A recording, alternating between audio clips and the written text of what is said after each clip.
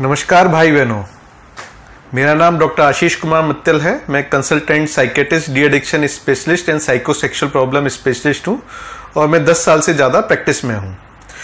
तो भाइयों, आज हम डिस्कस करेंगे सीजोफ्रेनिया की बीमारी के बारे में, जो कि एक बहुत बड़ी और खतरनाक बीमारी है। और इस बीमारी के अगर लक्षण आप पहले से ही पहचान लें या जल्दी पहचान लें और पेशेंट का इलाज जल्दी चालू हो जाए तो ट्रीटमेंट का आउटकम अच्छा होता है। तो आइए स्टार्ट करते हैं।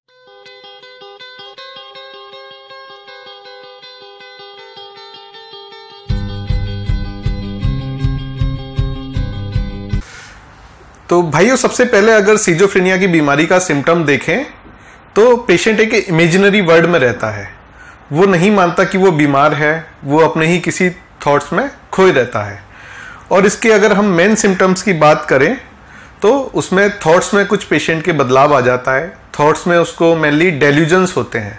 डेल्यूजन्स का मतलब है फॉल्स फ्रॉम अनसेकेबल बिलीफ कि पेशेंट कुछ गलत विचार बना लेता है समाज में और उसको वो विचार बिल्कुल सही लगते हैं। जैसे एक होता है डेलीजन ऑफ़ परसिक्यूशन कि मतलब लोग उसके खिलाफ हैं। लोग उसके खिलाफ हैं, उसके साजिश कर रहे हैं। पहले तो जैसे वो बोलता है कि ऑफ़िस में लोग मेरे खिलाफ है, हमेशा सब लोग मेरे अगेंस्ट हैं, मेरे बारे में ही सब अगेंस्ट चलता रहता है। तो पहले तो घर वालों को भी लगता है कि वास्तव में ऐसा कुछ है। लेकिन फिर वो शक घर पे भी ऐसा करने लग जाता है या पड़ोसियों के बारे में शक करने लग जाता है, जो घर वाले पहचानते हैं कि रियल में ऐसा कुछ नहीं है, लेकिन इसको ये शक हो रहा है। तो फिर उनको लगता है कि वास्तव में कुछ परेशानी है। एक होता है डेल्यूजन ऑफ़ रेफरेंस रेफरेंस मतलब पेशेंट को ऐसा लगता है कि सारी चीज़ें उससे ही रिलेटेड है, या उसके लिए ही, या उसके अगेंस्ट में की जा रही हैं। जैसे कि एक मेरा पेशेंट था, वो ऑफ़िस में काम करता था तो वो कहता था कि, सर, कि मैं ऑफ़िस जाता हूँ तो मेरा जो गार्ड है वो आपस में बात करते हो, मेरे बारे में ही बात करते हैं। फिर उसने बोला कि जो हमारे यहाँ इंटर्न आई हुई हैं, वो लोग मेरे बारे में बातें करते रहते हैं और मुझे बहुत गुस्सा आता है उन पर क्यों वो मेरे बारे में ही डिस्कशन कर रहे हैं। तो इस तरह से पेशेंट को रेफरेंस डेलीजन ऑफ़ रेफरेंस इसका शक होने लगता है कि लोग उसके बारे में ही बात कर रहे हैं। कुछ लोगों को ऐसा लगता है कि थॉट ब्रॉडकास्ट एक फिनोमिना होता है कि मेरे जो थॉट्स हैं, दूसरे लोगों को पता चल रहा है। कि मेरे बिना बताए ही। तो ऐसा उनको डाउट होता है। किसी किसी को डाउट होता है कि थॉट इंसर्शन कि मेरे दिमाग के अंदर बातें डाली जा रही हैं, ये जो विचार हैं वो मेरे नहीं हैं, और दूसरे लोग अपने विचार मेरे अंदर डाल रहे हैं।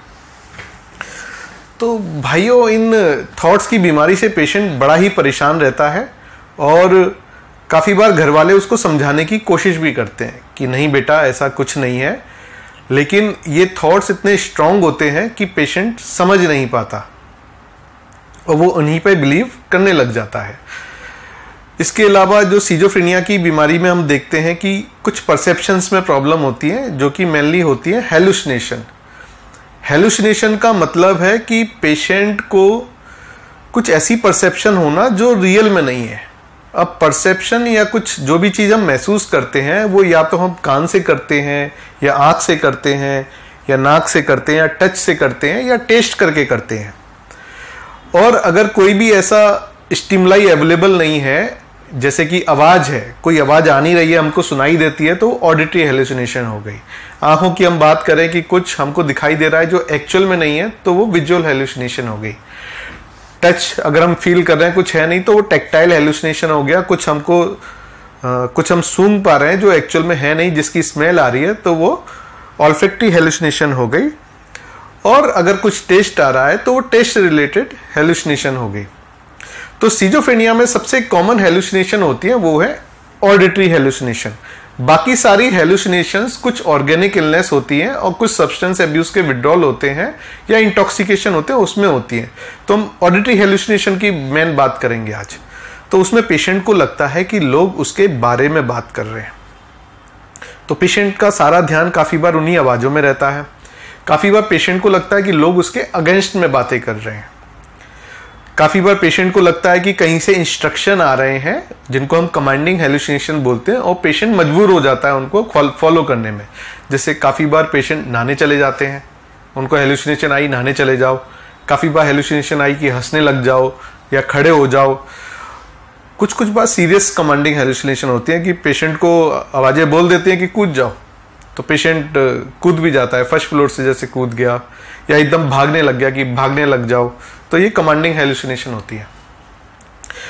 तो ये डेल्यूजन्स एंड हेलुसिनेशन होने से पेशेंट का बिहेवियर काफ़ी बदलने लग जाता है। तो सबसे पहली बात है डेल्यूजन और हेलुसिनेशन पेशेंट के लिए एक सच्चाई है, जो उसके ब्रेन में न्यूरो ट्रांसमीटर इम्बेलेंस होता है, जैसे कि डोपामिन का इम्बेलेंस होता है सीजोफ्रेनिया में, जिससे कि पेशेंट हाइपर सेंसिटिव हो जाता है और जो स्टिमुलाई नॉर्मल पर्सन के लिए कोई वैल्यू नहीं रखते, वो ज़्यादा वैल्यू करने लग जाते हैं पेशेंट के लिए। तो जिससे उसको शक की, वहम की या हेलुसिनेशंस की परेशानी होने लग जाती है डोपामिन बढ़ने से।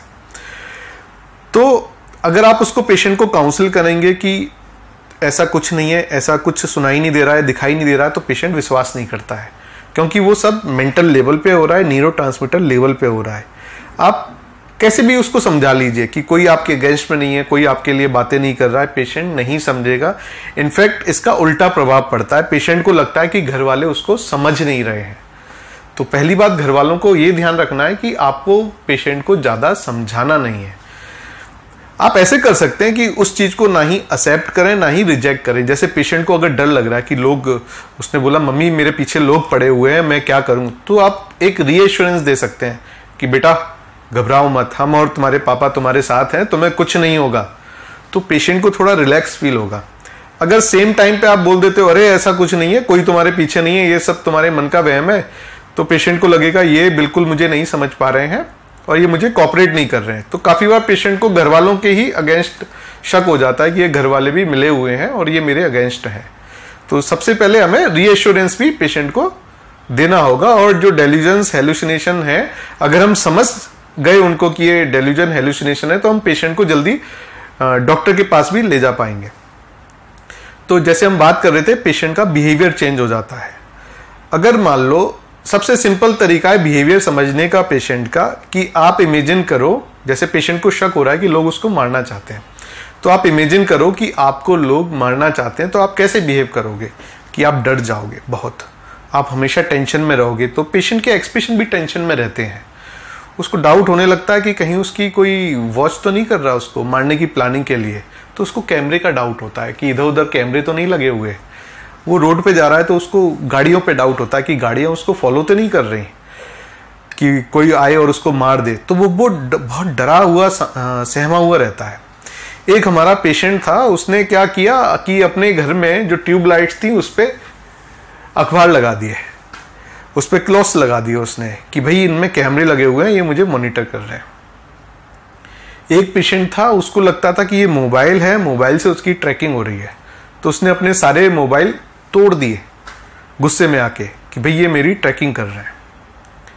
तो इस तरह के बिहेवियर चेंजेस आ जाते हैं पेशेंट का मूड बदल जाता है। उसको ज़्यादा खुशी, ज़्यादा गम फील नहीं होता, जिसको हम रेस्ट्रिक्टेड या ब्लेंटेड अफेक्ट भी बोलते हैं। तो इस तरह का पेशेंट का बिहेवियर और मूड भी बदल जाता है। अब पेशेंट डरा हुआ रहता है तो काफ़ी बार पेशेंट की नींद भी डिस्टर्ब हो जाती है। तो पेशेंट सो नहीं पाता और क्योंकि हेलुसिनेशन हो रही है पेशेंट आवाज़ें उसको आती रहती हैं तो पेशेंट अपनी ही दुनिया में खोया रहता है। तो एक तरह से वो एक इमेजिनरी वर्ल्ड में पहुँच जाता है कि वो अकेले बैठा हुआ है, आवाज़ों पे फोकस कर रहा है। तो इस तरह के सीजोफ्रेनिया में सिम्टम आते हैं और करीब अगर हम पॉपुलेशन की बात करें तो सीजोफ्रेनिया काफ़ी कॉमन है। कम से कम एक परसेंट पॉपुलेशन को सीजोफ्रेनिया की बीमारी है और वर्ल्ड वाइड एक परसेंट पॉपुलेशन को। अगर हम हिंदुस्तान की बात करें, अगर इसकी 100 करोड़ पॉपुलेशन अगर हम लेके चलते हैं तो एक करोड़ लोगों को सीजोफ्रेनिया की बीमारी है, जो कि एक बहुत बड़ा बर्डन है। सीजोफ्रेनिया का उपचार नहीं था तो पेशेंट काफ़ी वायलेंट हो जाते थे अपने सिम्टम्स की वजह से तो उनको मेंटल हॉस्पिटल में भी रखना पड़ता था। लेकिन आजकल सीजोफ्रेनिया का बहुत अच्छा उपचार अवेलेबल है, जिसके बारे में हम नेक्स्ट वीडियो में डिस्कस करेंगे और जिसका लिंक मैं डिस्क्रिप्शन में आपको दे दूँगा। तो भाइयों, आज हमने डिस्कस किया सीजोफ्रेनिया के बारे में, कि उसके कॉमन सिम्टम्स क्या होते हैं, उसकी वजह क्या होती है पेशेंट किस तरह से प्रेजेंट करता है सीजोफ्रेनिया को। और किस तरह की तकलीफ़ें पेशेंट को झेलनी पड़ती हैं। तो भाइयों, अगर आपको ये वीडियो अच्छा लगा तो प्लीज़ इसको लाइक करिए। और अगर आपको लगता है कि किसी को ऐसे सिम्टम हैं, किसी आप जानने वाले को पहचानते हैं कि ये वीडियो उसकी हेल्प कर सकता है तो प्लीज़ इसको शेयर करिए। और इस चैनल को सब्सक्राइब ज़रूर करिए, जिससे कि जो मैं फ्यूचर में वीडियो डालूँगा, वो सबसे पहले आपको मिलेगा। धन्यवाद, जय हिंद।